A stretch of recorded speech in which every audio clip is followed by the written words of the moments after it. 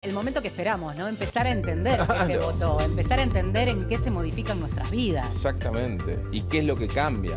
Y en el día a día, cómo nos afecta. César Litvin es tributarista, Matías Guidini nos va a ayudar también a entender esta cuestión del mercado laboral, que se abre otro mundo, esta modernización que se viene. Totalmente. Bueno, César, primero, ¿qué significa que se haya caído impuesto a las ganancias y bienes personales del paquete fiscal. Eh, en esos puntos significa que no terminó el partido, porque el partido se sigue jugando en diputados. Y si diputados, como bien dijiste antes, insiste en su proyecto original, eh, y, logra la mayoría que necesita, eh, va a poder este, aprobar ganancias y bienes personales. De bienes personales me llama la atención porque era un proyecto que beneficia a mucha gente, a mucha gente que no tiene capacidad contributiva para pagar este impuesto porque elevaba en forma significativa el mínimo no imponible a 100 millones de pesos. Eh, hoy es de 27 millones de pesos. era una buena que... Era una buena eh, que dejaba fuera a gran parte de la clase media por el mínimo no imponible de 100 millones. Lo que iban a pagar, iban a pagar sobre el exceso de 100 millones ya para el año 2023. Claro. Eh, con lo cual me sorprende, además da una opción a algunos contribuyentes que quieran pagar cinco años adelantados, ¿sí?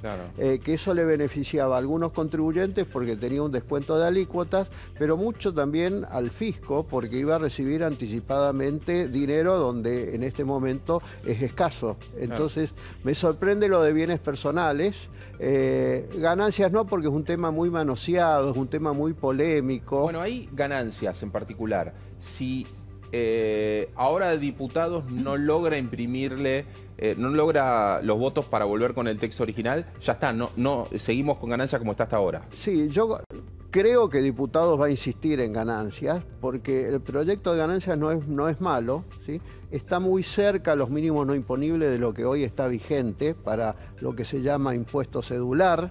Eh, pero es mucho más progresivo en el sentido de que hoy el que empieza a pagar este impuesto cedular empieza una alícuota del 27% y llega rápido al 35%.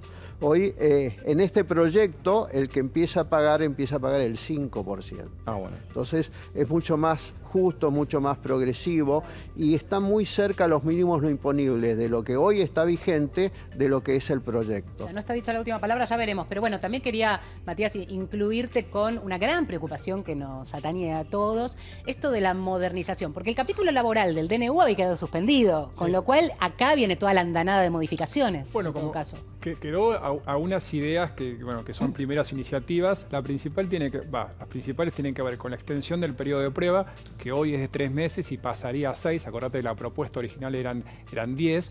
Son seis meses para empresas de más de 100 empleados, ocho meses si vas de 5 a 99 y 12 meses si sos hasta 5.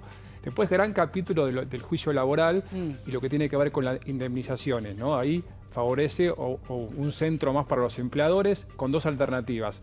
El fondo de cese, que es esa alternativa opcional, no, no es mandatoria, que vos podés este, ir contribuyendo, creo que es hasta un 8% del sueldo, para ir generando un, fondo que tiene que ser ratificado por convenio colectivo, con lo cual se tiene que poner de acuerdo trabajador y empresa y te permite a la empresa tener una previsibilidad sobre cuál va a ser el monto para la indemnización. Y a la vez también un cambio en el cálculo de indemnización, es un poco técnico, pero tiene que ver con quita de multas, con intereses, que de vuelta ayuda al empleador a tener más previsibilidad y eso eventualmente debería ayudar al trabajador para incorporar más gente. Y la última, capítulo del trabajo informal, que para mí es muy relevante, un blanqueo para trabajadores mal registrados y también una nueva figura de trabajador independiente que es, eh, permite hasta agrupar trabajadores hasta cinco personas en una figura de trabajador independiente que no es relación de dependencia, pero ah. que te permite formalizar.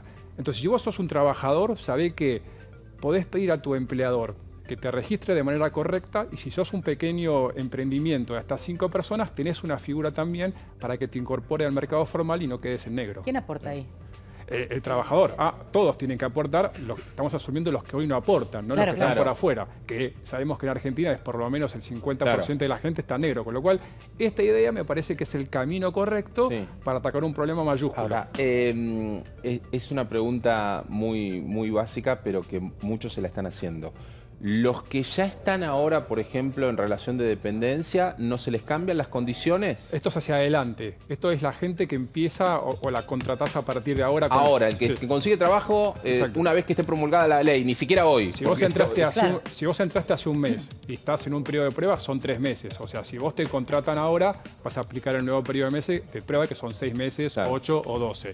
Eh, digamos, son primeras iniciativas que buscan, primero, aumentar el empleo con el periodo de prueba, eh, un gran capítulo que era el juicio laboral, ¿no? tratar de darle previsibilidad y que eso apunte a que los eh, las empresas puedan contratar y después el capítulo de trabajo negro, que de vuelta es un, un gran tema para Argentina y esto trataría de tirar un centro hacia eso. Ahora volvemos con vos, pero bueno, va- vamos un poco pimponeando. Eh, el otro día hablaba con mi contador y hay que presentar ganancias. No, espera porque depende de la ley bases. Sí, claro. Muchos deben haber dicho eso. ¿Qué cambia ahora con esto que se aprueba? Que, insisto, claro, no es el capítulo final, pero No, primero hay que entender que los vencimientos de ganancias y bienes personales para el 2023 iban a vencer ahora en estos días. Sí. Se prorrogaron Claro. a fin de agosto. bien. Porque de alguna manera esto está de acuerdo a lo que se prueban las medidas fiscales. Bienes personales Sí. tiene mucha incidencia, mucha De hecho, ni estaba habilitado la página de la FIP No, para no, presentar ni el están trámite. los aplicativos tampoco, porque todo va a depender Claro. de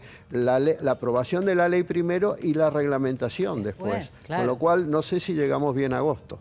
Claro, vos sabés que mucha gente eh, que está por sacar crédito hipotecario, Sí. me contaba eso, porque en algunos le piden certificación de ingreso y le piden la documentación de ganancia Claro. y dicen, no, no, no la tengo porque no, no, no, no tengo ni siquiera para presentarlo. Entonces muchos están haciendo certificación de ingreso con los contadores. Sí, claro. Eh, La realidad es que a mí no me gusta que los bancos tengan declaraciones juradas de impuesto a las ganancias o de bienes personales porque viola el secreto fiscal. Eh, el secreto fiscal tiene que ser un compromiso de quien tiene esos datos de no divulgarlo. Cuando yo se lo entrego a los bancos, yo prefiero hacer una certificación de ingresos Totalmente. y no la, la copia de las declaraciones juradas que los bancos piden con mucha Claro. facilidad, pero no hay que entregársela. En Igual, uno, igual el primer paso es tener un trabajo en blanco para poder presentar el certificado que Claro. te pide, ¿no? Con lo cual, Claro. Esta idea de poder blanquear o si estás trabajando en un pequeño emprendimiento, dos, tres personas en negro, bueno, primero estar en blanco para poder tener Claro. el recibo y después presentarlo, ¿no? Hablando de blanquear, Mm. el capítulo del blanqueo, en un momento, pues viste, uno iba y venía, en el medio tenemos Claro. una vida, hijos, Sí. entonces iba, en un momento lo veo a, a- a Lustó planteando este, algunas modificaciones y hablaba de el tema del blanqueo y de las alícuotas. Mm. ¿Cómo queda esto si tenemos que explicarlo, si esto quedara como se aprobó en Sí, función de fue aprobado quieran- el Sí, blanqueo claro. Por unanimidad eh, y lo que quiero decir es que hasta 100 mil dólares no tiene costo. Es la primera vez que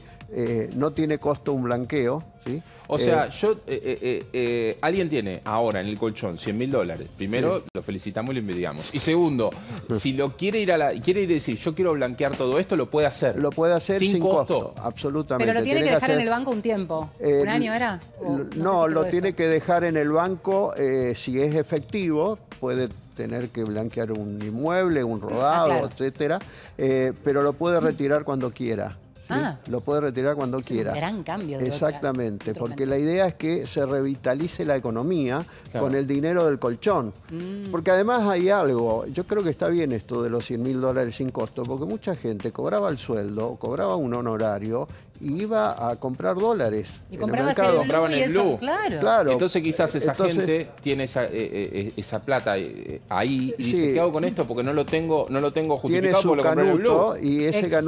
canuto no le rinde porque hay inflación internacional y ahora lo puede poner para que le dé renta. puede comprar un inmueble o puede comprar un y se va la inmueble, cambiar de auto, etcétera. Te- La idea es esa, movilizar eh, la Claro. economía. No, digo, ahí tenías muchos trabajadores que con la brecha cambiaria trabajaban facturando en dólares y podés tener mucha de esa gente que estaba fuera del mercado laboral informalmente cobrando en dólares y bueno, y, y fue errando fuera del sistema y también puede estar en este grupo. Un paréntesis, un paréntesis, perdón, vale, con, con esto del blanqueo. ¿Se aprobó el hecho de que puedan venir extranjeros a blanquear? Eh, sí, pero eh, ahí hubo un, un pequeño cambio que todavía no lo terminé de entender. Porque había polémica pero con el tema no, del narco No, no, no, no, no, no. Primero hay que distinguir. Blanqueo es para plata negra, no para plata sucia. La diferencia entre plata negra y plata sucia es importante. Porque plata negra es una operación lícita, una venta, que no pagó impuestos, con lo cual se convierte en negra. En cambio, la plata sucia viene ya de una operación ilícita, narcotráfico, por ejemplo. Entonces, el blanqueo permite regularizar plata negra, no plata sucia. ¿sí? Esto es importante. Ahora, ¿qué es lo que se establecía de extranjeros? Que hubieran sido contribuyentes en algún momento. Mm. Creo que está apostando a toda la gente que se fue a Uruguay por más Claro, cariño que en fue positivo. ¿sí? Eh, y, y Uruguay le dio mucho cariño en positivo. Bueno, hay que traerlos. Este, sí, claro. Eh, hay que traerlos de vuelta. Lácteos, porque- dulce de leche rico. Eh, ¿no? Claro, queremos. porque en rigor de verdad están consumiendo fuera del país Sí. con gran capacidad económica y están invirtiendo fuera del país. Hay que tratar de traerlos Volver a, nuevamente. a traerlos, que el cariño esté en casa. Eh, Exacto. Matías, te quiero preguntar con esto de la retroactividad. ¿Qué le dirías hoy a eh, un emprendedor que quizás estaba pensando, pocos, ¿no? En este contexto, pero en ampliarse o en tomar a una persona y quiere esperar a tener esos beneficios que puede dar esta ley de, de- de- de aprobarse? No, yo creo que la recuperación del empleo, primero diría que siga para adelante, ¿no? porque el emprendedor en Argentina realmente es, es motor del crecimiento. Acordate que en Argentina el empleo lo generan por lo menos el 70% de las pymes, ¿no? las grandes empresas no, no, están pero no son. Claro. Para adelante creo que obviamente la reactivación del empleo tiene que ver no solamente con el marco laboral, sino con la economía. La inflación está bajando eh, y bueno, me parece que eh, el mercado del trabajo, más allá de esta ley de bases, requiere una nueva eh, ley laboral, tal vez con otros tiempos un poco más pensada, un poco más dialogada, más amplia, porque hay muchos más capítulos para Claro. trabajar. La educación, o sea, la educación es el primer puente para Sí. el trabajo y vos pensás que en Argentina 100 chicos que arrancan la primaria solamente se gradúa el 14% de una carrera universitaria.